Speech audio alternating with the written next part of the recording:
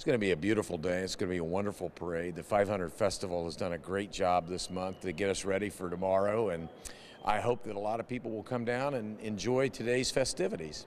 You know, nice to see you're wearing nice shoes today. Remember during the campaign, the famous commercial about the stinky shoes that he cuts the grass in? Does he still have those shoes? He does, absolutely. One pair we had to throw away. The other are in his office. You have to throw away when he's not looking because otherwise. Absolutely. He would dig him out of the trash if he knew. I, I've done that too. I, I, I know I know exactly how you feel. John, about it's that. called frugality. Absolutely. And you got a pair of shoes that fit right. You got to go with That's them. right. That's right. That's right. So what does it what does it mean when uh, when we have a good day for the parade? Well, uh, yesterday was a wonderful kickoff of this Memorial Day weekend with the service that uh, annually occurs on the steps of the War Memorial. Today's parade is, you know, uh, an integral part of the 500 Festival celebration. Uh, where people can come together as a community. Obviously, tomorrow's race, I think, will be one of the most exciting and one of the most competitive we've had, uh, with all due respect to the 100th running. Uh, but I want your viewers uh, to remember that whether it's Friday, Saturday, Sunday, or Monday, this weekend is about remembering and honoring those who have sacrificed and, and made the ultimate sacrifice so that the three of us can gather today in freedom and peace and enjoy wonderful parades like today. Yeah, and the parade is uh, that's a theme that runs through the parade is the Memorial Day weekend and uh, a lot of floats honoring our veterans as as it should be on this week Absolutely. anytime, but especially on this weekend. Absolutely, it's um, it, it, it is time to remember uh, the and and never let us forget the uh, several hundred thousand service personnel that are uh, on foreign shores right now, standing watch. Uh, so that we can, as I said, enjoy wonderful weekends here in America like this one. So you're going to be in the parade today together. Um, the the weight that's on your shoulders being the first lady of Indianapolis. I mean, this is a fun thing today, but usually Right. it's a little bit little bit more. Right. Um, but I don't ever feel a weight. So, uh, t- being the first lady, days like today are pr- the best because we get to show Hoosier hospitality to our guests that are here, and we we just get to spend this time together and celebrate. And that's that's what I like. I don't feel a weight though, at all. Well, good. That's good. And uh, tomorrow, the 101st running of the race, we're going to build off of some of the success of last year, kind of keep that going. It looks like it's going to be a great turnout.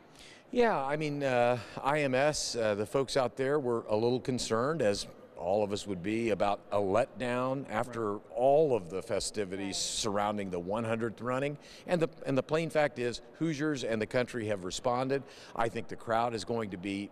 Uh, Again, compelling and enormous. I think we're going to have a very competitive race. It's nice to have names like Fernando Al- Alonso in this year's race. I think it's Fernando Alonso. Fernando Alonso. There you go. Uh, but uh, yeah, look, it, uh, it, it's going to be a very, very wonderful uh, race day, and uh, you know, may the best driver win. You know, we have a, a tradition at Channel 13 on our race day coverage. At the end of the coverage, we all pick who we think is going to win the race. Uh, and I, I so desperately want to say Fernando Alonso, but I don't think I, I don't, I don't know if I'm feeling that. Do you have an opinion as a longtime Hoosier who you think is going to win? Connor Daly, he's my guy. I, I just have all my hopes behind him. He'd be having to come from pretty far back to win. I understand, but I'm going to stick with him.